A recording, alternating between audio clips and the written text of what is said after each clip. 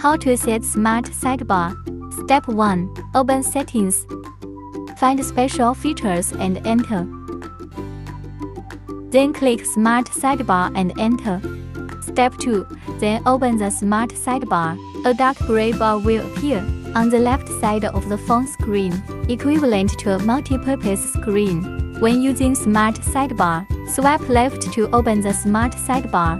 Swipe up and click Edit to customize the application to a shortcut Startup. You can add, delete, sort, and change the position of the Smart Sidebar at will. Swipe inward from the buoy position and stay. Drag to change the position of the buoy. When reading an article, open Take Notes. A note will appear in a floating window. You can adjust the size of the window and move it around freely.